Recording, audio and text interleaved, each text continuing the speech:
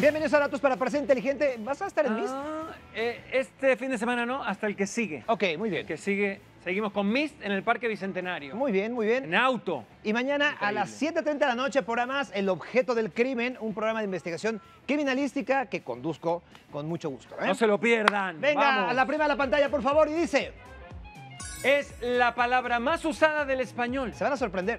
A, vacaciones. B, felicidad. O C, besos. Estoy hablando en las redes sociales. Eh, ¿Besos? ¿Besos? Como que saludan. Bye, besos. Bye, besos. No sé. Echa la pantalla, por favor. Sí. Besos.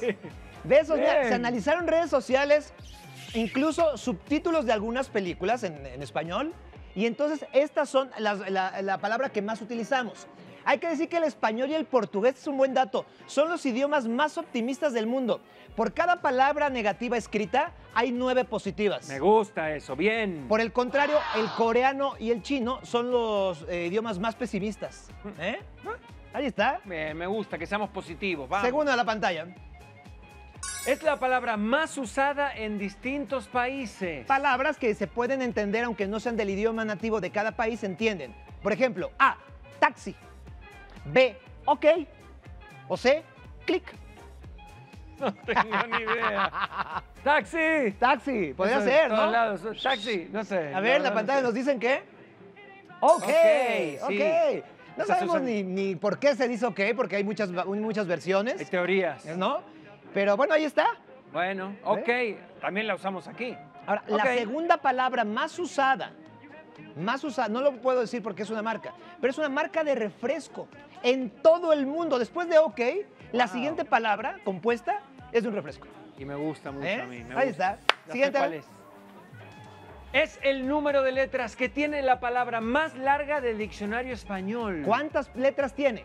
A, 22, ¿Qué? B, 23 o C, 24. Oh, wow. Cualquiera me resulta eh, supercalifragilístico, espialidoso, debe tener unas 23. Sí, lo que hace que esa no está en No el existe, diccionario. ¿verdad? No, No está en el diccionario. 23 dice Pato y en la pantalla le dicen que Eh, 23. solo porque es el- mi número favorito, la tiré. Pero es No el, ah, tengo la palabra, mira, pon, el gráfico, electroencefalografista. Uy. Ojo, No, no me atrevo ni a decirlo. cualquier palabra se puede componer con adverbios y con distintas eh, composiciones, pero esta palabra sí está en el diccionario de la Real Academia y por eso es la más larga, 23 letras. ¿eh? Si quieres poner un tweet ahí con esa, ya, no te queda más nada. Solo Exacto. puedes poner esa sola palabra. Ahí está, esos son datos para parecer inteligente. Querida familia de Venga la Alegría, antes de que sigan viendo más videos, tenemos un mensaje muy importante. ¿Ya se suscribieron a nuestro canal de YouTube? Es súper fácil, solo píquenle aquí, abajo en el botón. ¿Eh?